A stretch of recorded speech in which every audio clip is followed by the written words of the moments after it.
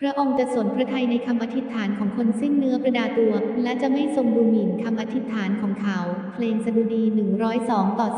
17 การประกาศความรักต่อพระเจ้าเพราะพระองค์ทรงช่วยให้คนข้าพเจ้ารักพระเยโฮวา เพราะพระองค์ทรงสดับเสียงและคำวิงวอนของข้าพเจ้า เพราะพระองค์ทรงเงียบพระกันสดับข้าพเจ้า เพราะฉะนั้นข้าพเจ้าจะทูลพระองค์ตราบเท่าที่ข้าพเจ้ามีชีวิตอยู่ เพลงสดุดี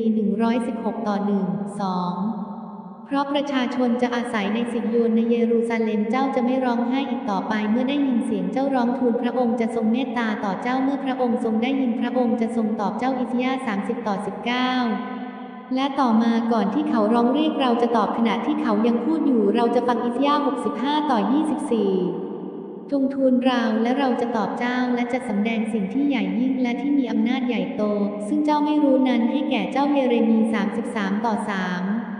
เมื่อท่านทั้งหลายอธิษฐานอย่าเป็นเหมือนคนหน้าซื่อใจคดเพราะเขาชอบยืนอธิษฐานในธรรมศาลาและที่มุมถนน เพื่อจะให้คนทั้งปวงได้เห็นเราบอกความจริงแก่ท่านว่าเขาได้รับบำเหน็จของเขาแล้วมัทธิว6ต่อ